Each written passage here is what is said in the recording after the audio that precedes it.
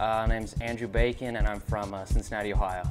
Uh, if there was a movie about my life, I'd have uh, Brad Pitt play me, because uh, we both have pretty great mustaches when he had his. So, uh, number one thing on my bucket list, I mean, don't really have a bucket list, but I'll just say uh, skydiving, because I think that'd be pretty fun.